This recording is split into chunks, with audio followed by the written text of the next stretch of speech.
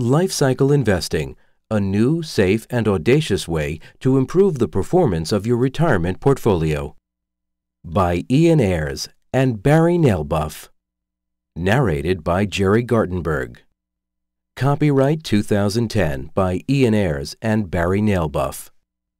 This unabridged audiobook is published by arrangement with Basic Books, a member of the Perseus Books Group, and was produced in the year 2010 by Tantor Media Incorporated, which holds the copyright thereto. Publisher's Note Throughout this audio program, the authors refer to charts, graphs, and tables. You can find all of these tables at our website, www.tantor.com. Type in Lifecycle Investing in the search box. This will lead you to the link to the title description page, where all the charts and graphs can be found.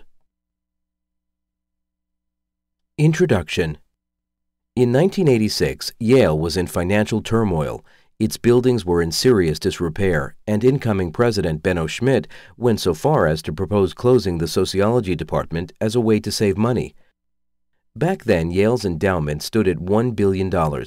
It was led by a new endowment manager named David Swensen. He was a surprising choice. Swensen came with an economics PhD from Yale, but no previous experience in endowment management. As a result, he didn't start with any prejudices as to how the money should be invested. He found that half the endowment was in U.S. equities, another 40% was in U.S. treasuries and corporate debt, and less than 10% was elsewhere. To his mind, that didn't make much sense.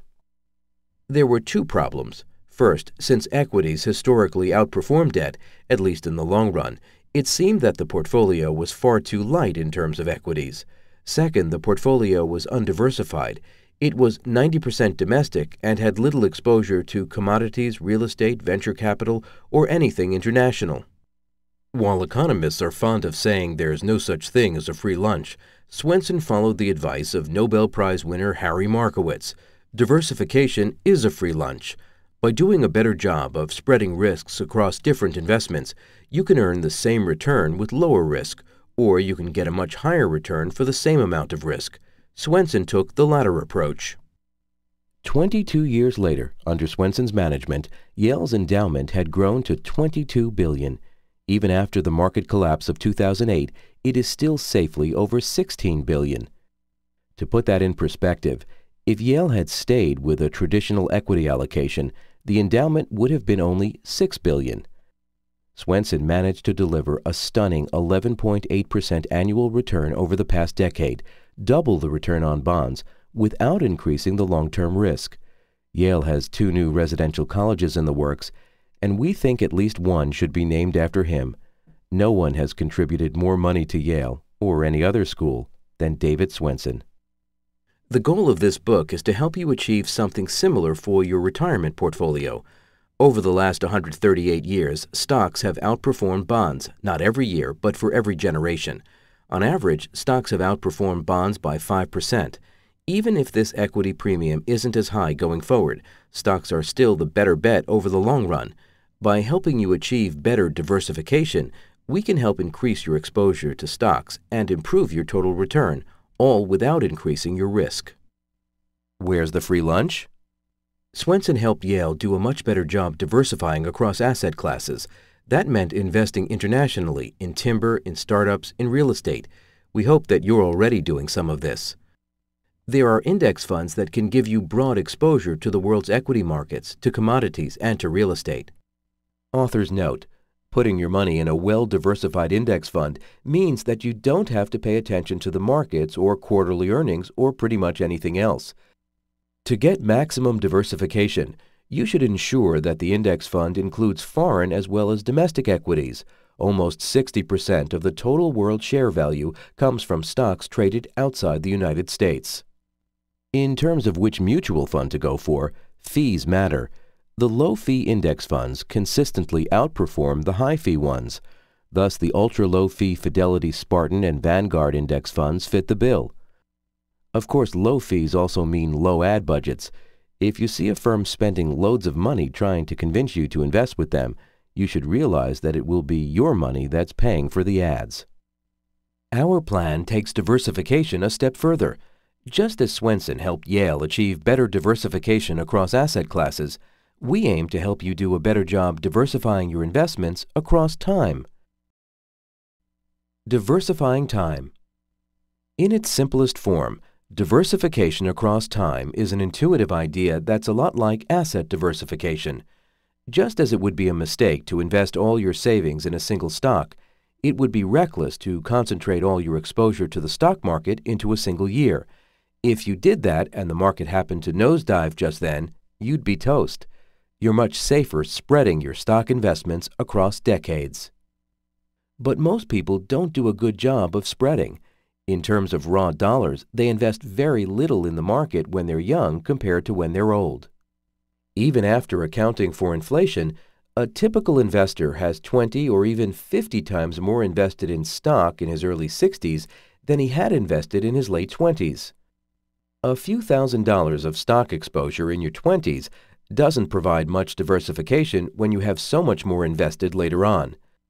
From a temporal diversification perspective, it's as if your 20s and 30s didn't really exist. Instead of investing $50,000 in the market when you're young and a million when you're older, it would be better to invest 100,000 when you're young and 950,000 when you're older.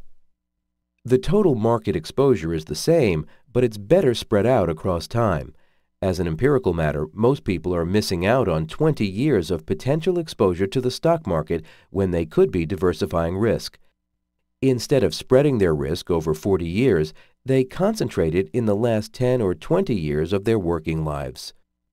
To solve this problem, we offer a simple but radical idea. Use leverage to buy stocks when you're young.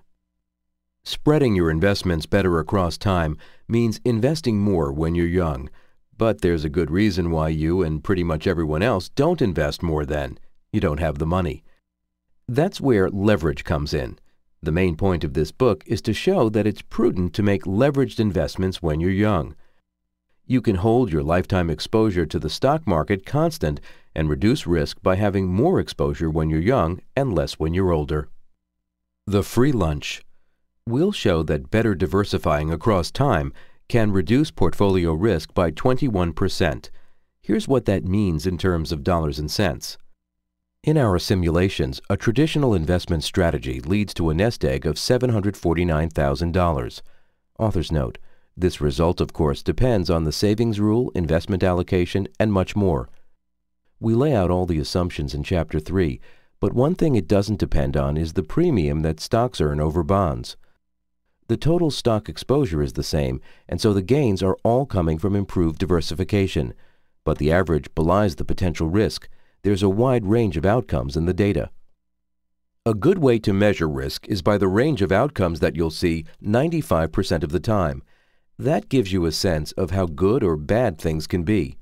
Under the traditional investment strategy, that range is $490,000 up or down. With our life cycle strategy, you can get the same average result, $749,000, but reduce the range by 21% or $105,000 either way. At the top of the range, you make $105,000 less, but in the worst case, you end up with $105,000 more. The worst case is when this really counts, since under the traditional strategy, you only had $259,000.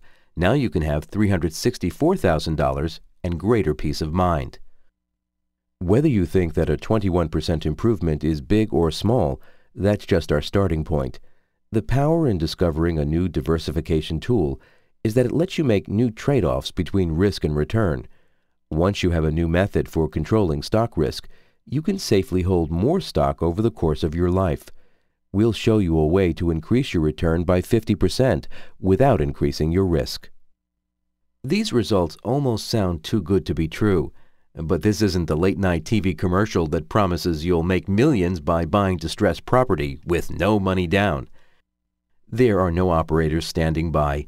Our strategy is a straightforward application of research done by Nobel laureates Paul Samuelson and Robert Merton. We explain this connection in the next chapter. That said, at the end of the day, you shouldn't believe us or anyone else because of who we are or what the distinguished blurbists say on the cover. You should follow our advice because it makes sense and because historical and simulation data confirm it. trust but verify. When it comes to something as important as your retirement savings, you can't rely on theory or common sense alone, no matter how sensible it seems at first blush, and no matter how many people say it's the thing to do. Demand to see the data. We have tested our approach using stock market data back to 1871.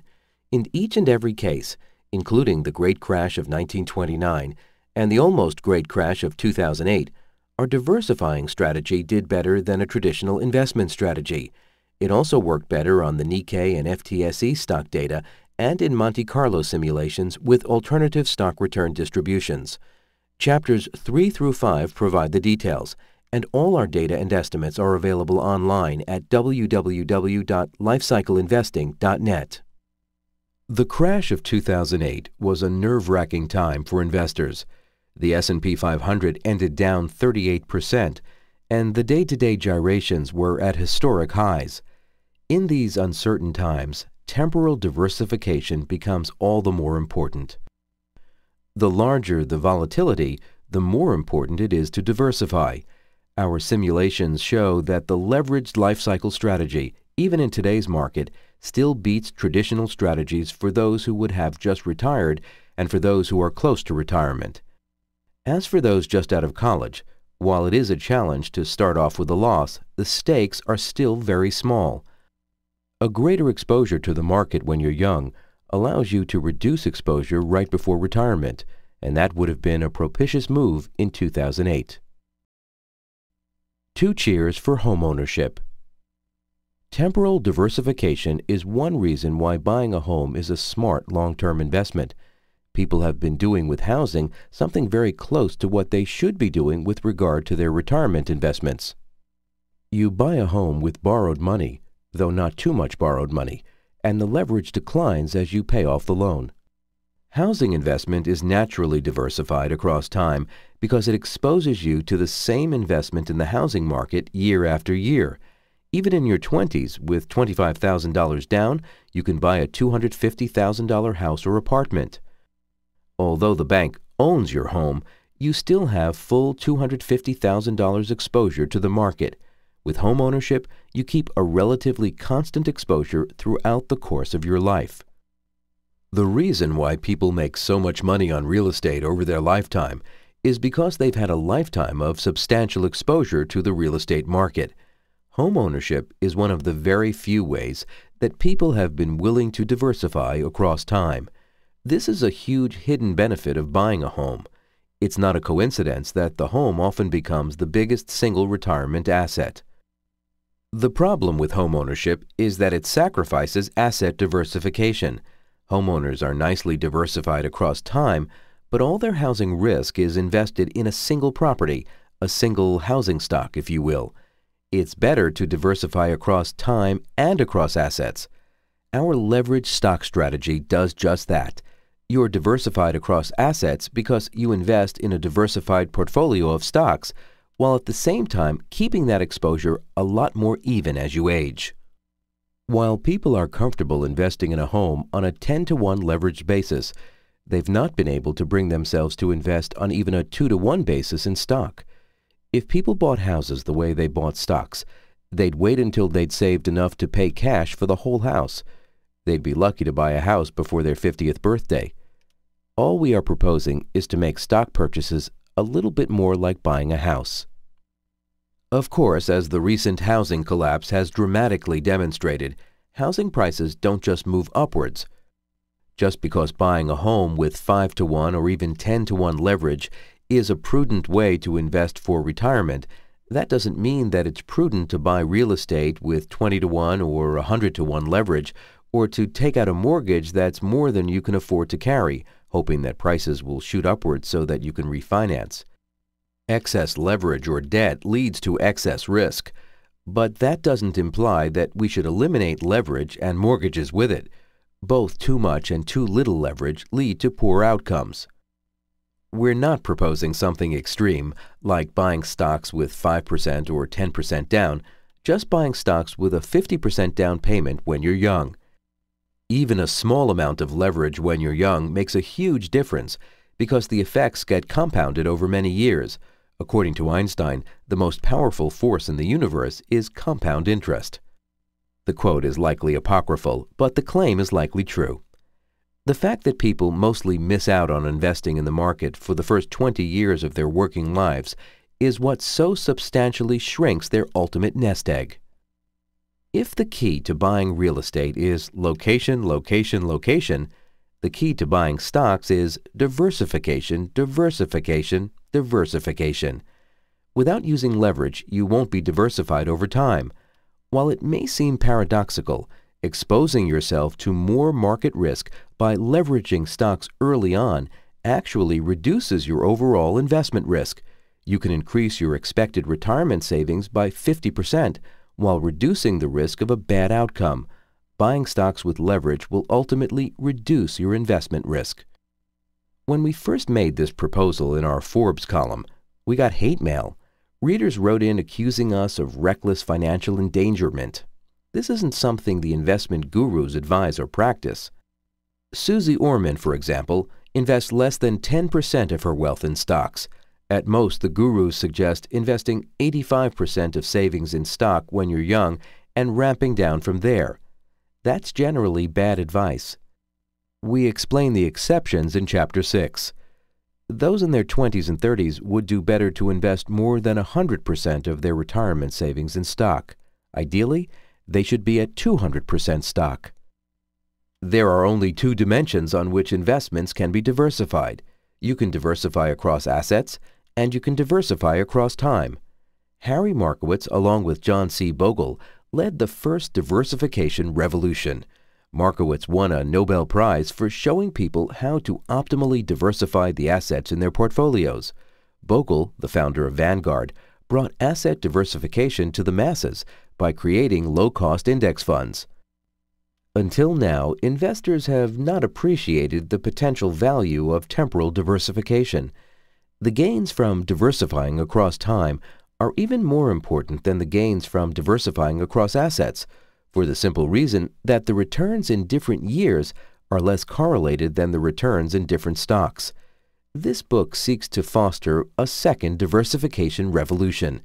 Better diversification across time leads to reduced risk, and reduced risk allows for increased market exposure and higher returns.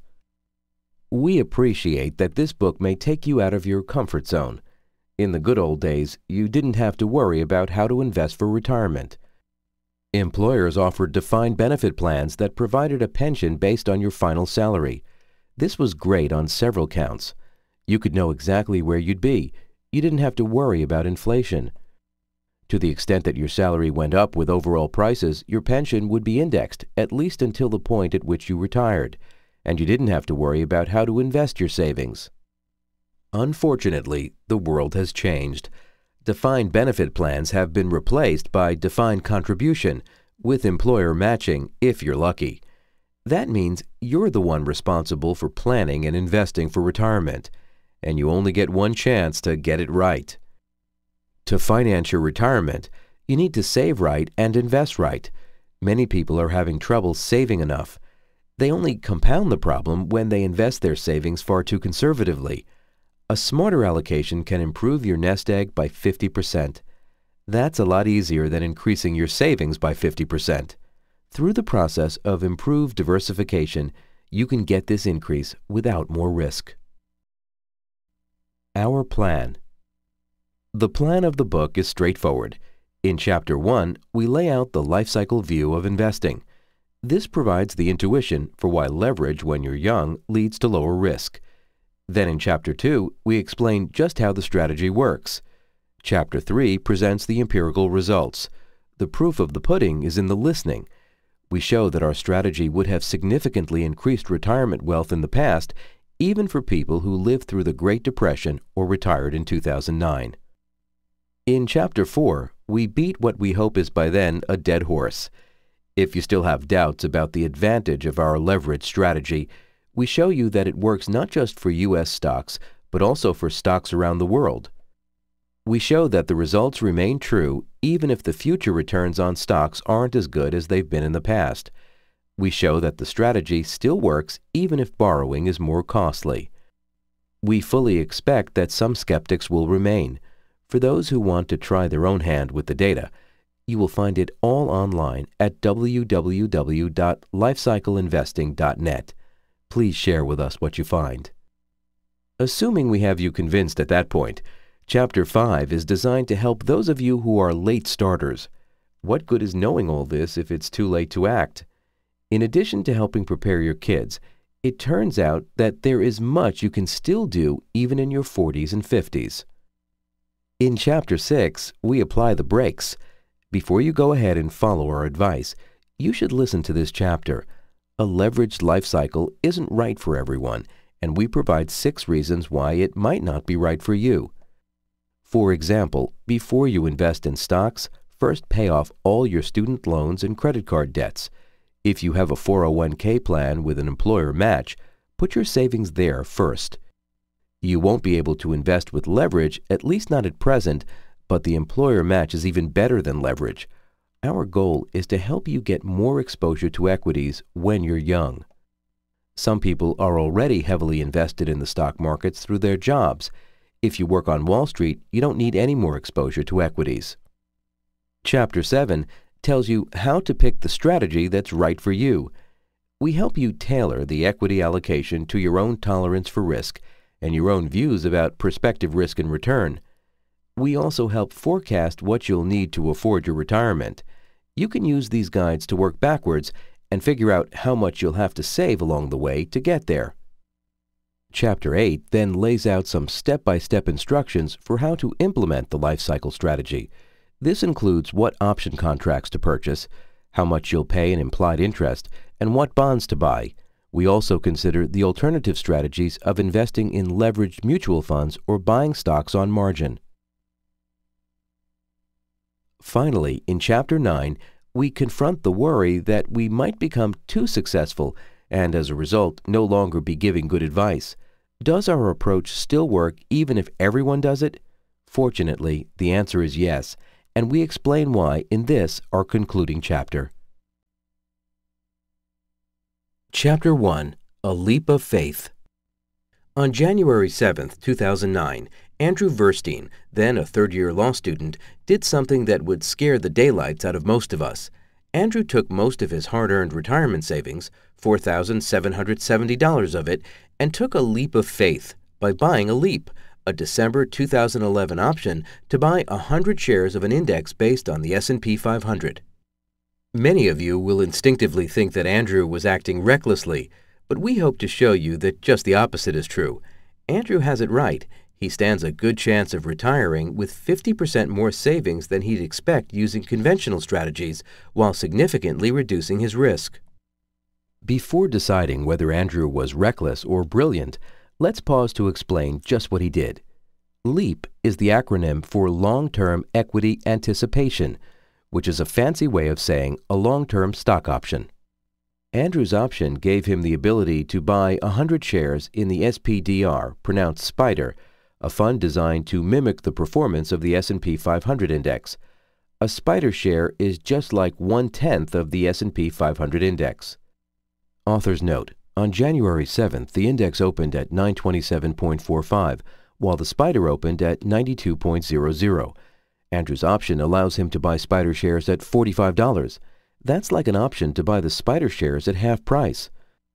Of course, the option wasn't free. He paid $47.70 a share, or $4,770 in total for that privilege. For Andrew to make money, the spider price has to be more than $47.70 above $45 a share, or $92.70. To the extent the market goes above $92.70, Andrew will make money at double the rate he would if he had just invested his $4,770 in the S&P directly. His 4,770 would only have bought 52 shares directly. With the option, he has exposure to 100 shares. But if the market goes down, Andrew loses money twice as fast, too. If the index ends up being worth less than $45, he will have lost his entire head start on retirement savings. Gambling his retirement? Andrew is remarkably thrifty, perhaps to a fault. Before law school, he worked for a year as a paralegal, and the job took him to Paris, Milan, and Mexico City. As a result, most of his living expenses were taken care of, allowing him to save a prodigious amount even on a modest salary. He probably should have enjoyed more of the local color, cappuccinos at the street cafes, but that isn't his style. So why is Andrew taking this gamble with his retirement? The short answer is he was convinced that buying the leap is a prudent investment, not because he was sure the stock market is going up and wanted to make a short-term killing. In fact, after the volatile stock swings of 2008, Andrew's not sure at all about whether stocks will increase or decrease over the life of his option. But he sees this purchase as part of a conservative long-term strategy to invest for his retirement. Andrew read an early draft of an academic article we wrote on diversification across time, and he followed up by asking how it would be possible for him to put the article's theory into practice. We wrote this book to let you in on that conversation. To get the long answer, we go back to work done in the 1960s by Paul Samuelson and Robert Merton. In their groundbreaking articles, they ask how someone who had all of his or her retirement savings up front in cash would choose to allocate it between stocks and bonds. Imagine for a moment that you are 25 and inherit a $500,000 trust fund that can only be spent when you reach retirement age. How would you invest it today between stocks and bonds? Your answer would obviously depend on your tolerance for risk and the expected returns on stocks and bonds. For the sake of argument, let's say that your allocation is 60-40, 60% in stocks and 40% in bonds. Now we have to translate this situation back to the real world, where alas, no one has left you with such an inheritance. Put yourself in Andrew's shoes.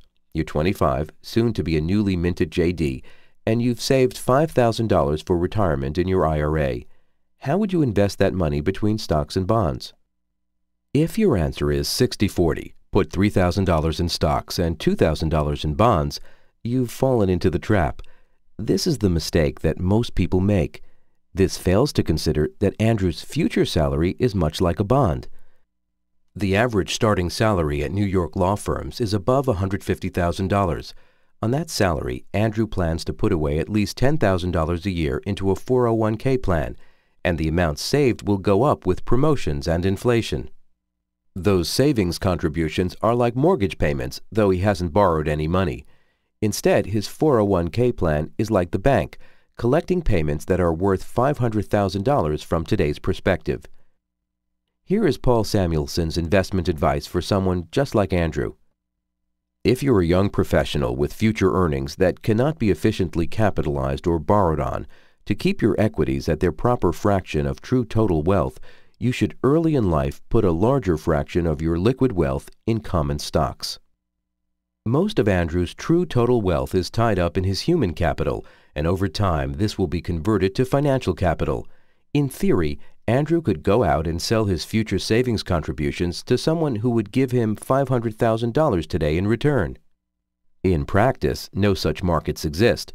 Just like the trust fund kid, Andrew has something worth $500,000 today that he doesn't have access to. His anticipated future savings is like owning a half million dollar bond that is stuck in his portfolio. Fortunately, money is fungible, and so Andrew can compensate by overinvesting the parts over which he does have control. If he were to invest his current $5,000 savings 60% in stocks and 40% in bonds, then it would be as if he had $3,000 in stocks and $502,000 in bonds. Were he to invest all $5,000 in stocks, he would still be below 1% in stocks even if he were to leverage his $5,000 investment at a 2 to 1 ratio so that he has exposure to $10,000 of the market, he would be 2% in stocks, far below his desired ratio of 60%. Investing with leverage won't get him to 60-40, but it moves him in the right direction.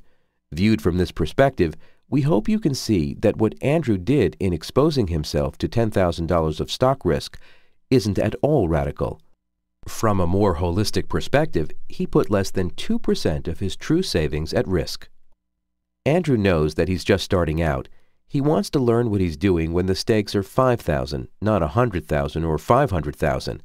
As Andrew explained to us, when I wanted to learn something about sports, I decided to make some small bets. That way I had a real incentive to learn about the players and the game. When it comes to stocks, this is giving me a chance to learn while the stakes are still small. Andrew played a bit of poker in college. He was even good enough to win some small tournaments, but he's not a gambler. Those tournaments had buy-ins of $2, and Andrew walked away with a $100. If he were to get better at playing poker, Andrew knew he'd have to raise the stakes, and that isn't how he wanted to spend his time. In the case of investing for retirement, however, he couldn't afford just to sit on the sidelines and watch. When it comes to financial investments, diversification is essential. Andrew took this gamble in order to better diversify his portfolio. His investment was already well diversified in one way. He bought options on an index of stocks rather than any one stock. That's the smart, if boring, thing to do. Jim Cramer wouldn't have much to shout about if the average investor was like Andrew and just bought stock market indices. Andrew knows that his job is to be a lawyer, not a stock picker. In law school, he didn't have time to figure out which stocks would outperform and which ones wouldn't. Even if he did have time, he is smart enough to know that he isn't likely to beat the average. Later in life, Andrew can do even more in terms of diversifying his portfolio. He can add foreign stocks, commodities, and real estate to the mix. But for now, spreading his investments across the 500 stocks in the Standard & Poor's Index is a good start. Total Dollar Years To see how Andrew's investing strategy reduces his risk, we calculate a new measure of stock market exposure, something we call total dollar years.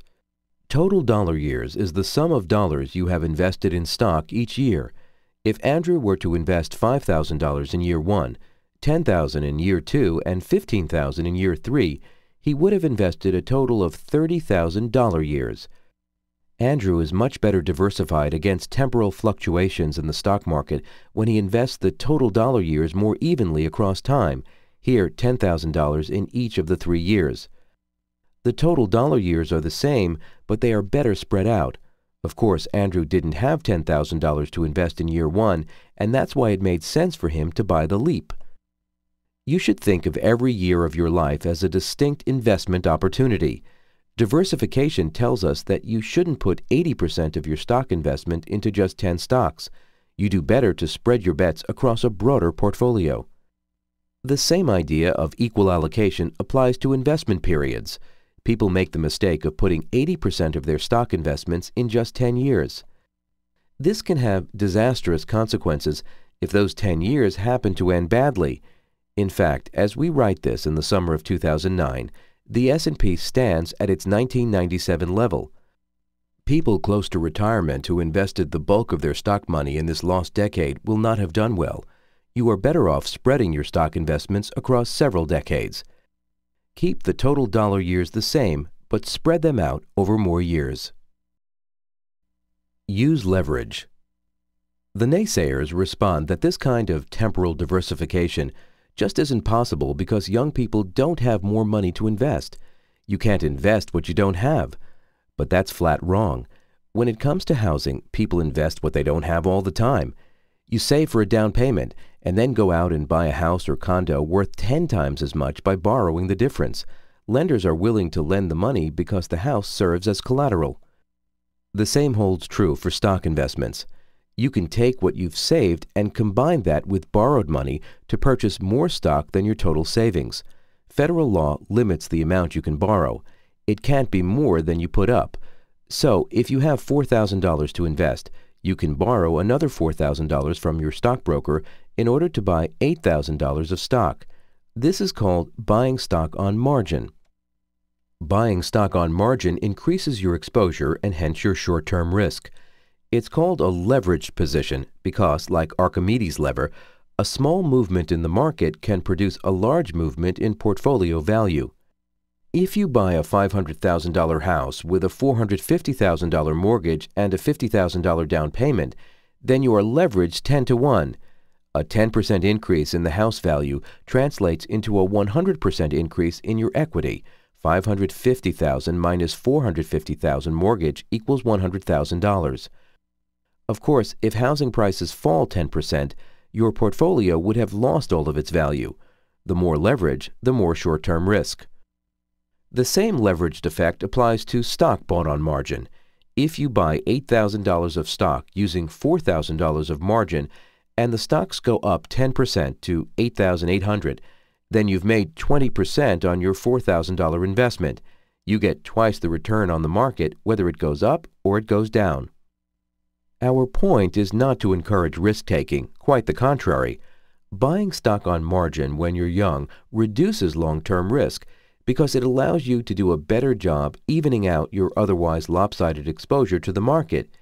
If you have $4,000 of market exposure when you're 25 and 200,000 when you're 65, it would be better to bring the initial exposure up to 8,000 and reduce the final exposure to 196,000. While buying stock on margin helps in terms of diversification, it creates some other problems. If stocks fall enough, you can be asked to put up more collateral. If you don't meet this margin call, then your portfolio will be liquidated whether you like it or not. Since you didn't have more money to invest in the first place, you probably won't have the money to put up in the event of a margin call. A second issue is that many, but not all, brokers charge high interest rates for a margin loan. The cost of this interest can more than offset all the gains from diversification. From our perspective, buying stocks on margin has too many drawbacks to make it an effective tool. Fortunately, there's more than one way to skin a cat. You can get effectively the same amount of leverage through buying a call option. The advantage of the option is that there aren't any margin calls. Whether the market goes up or down, you won't be called on to put in more money. A second advantage is that call options allow you to double your exposure to the market at a very low cost. In Chapter 8, we show that in recent years, the implied interest rate associated with long-term call options that provide 2 to 1 leverage was only 4%. This is why Andrew invested in Leaps as his way of better diversifying his portfolio. Andrew spent $4,770 to get an option to buy the Spider for $45. If stocks go up 10% from where they were when he started, from 92 to 101.2, Andrew will make $850 on his $4,770 investment, which is an 18% return. If stocks fall by 10%, then he will lose $990 or 21%. Author's note, the reason why the up and the down aren't completely symmetrical is that the leap price includes some implicit interest on the part of the shares Andrew hasn't yet purchased. These calculations are provided in Chapter 7. He has the same leverage as if he bought stocks using a margin loan, but he doesn't have to worry about getting a margin call or paying usurious interest. Proposing leverage often sets off red flags. Recent events highlight the issue. Young investors who followed our advice would have lost 64% of their savings in 2008. What does that say about our strategy? While losing 64% of your investments is never fun, it is much better to do so when you're 25 than when you're 65. This is true for two reasons. First, you have a lot more time to adjust in response. Over the next 40 years, you can work harder, save more, or consume less. Second, even following our advice, you'll have a lot less money in the market when you're 25 compared to when you're 65. If Andrew ends up losing 64% of his initial investment, he'll be down a little over $3,000. That's painful, but not crippling. If he loses 64% of his nest egg when he's 65, that's a major problem. Remember that our advice isn't just for 25-year-olds today. There is the corresponding advice for 65-year-olds, namely, buy a little less stock. If we had written this book 40 years ago, and an older version of Andrew had been following our advice all along, then he would have been less invested in the market in 2008 and thus lost less. We've done the simulations and found that he would have come out 7% ahead overall compared to following the traditional approach. Author's note, the traditional approach landed at 635,000 while our life cycle strategy ended up at 679,000. Both were down significantly from 2007, but our approach fell less. Because we propose investing more when young and less when old, you'll obviously come out ahead if the market performs better when you're young and worse when you're old, and you'll do worse if the market does poorly when you're young and booms when you're near retirement. But that's not a fair test for evaluating our strategy. Our goal is to reduce risk. That means giving up some of the highs in return for missing some of the lows. We can't eliminate all the risk, but by diversifying time, we can reduce it substantially. Of course, Andrew got off to a bad start.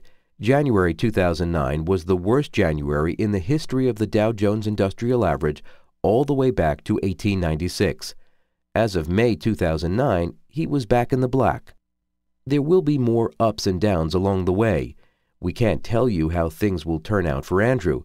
That will take another 40 years. But we don't ask you to take our word on faith. In Chapter 3, we tell you what would have happened over the last 138 years if you had followed our advice, including what would have happened to those who just retired at the end of 2008. We hope you enjoyed this preview. To continue listening to this audiobook on Google Play Books, use the link in the video description.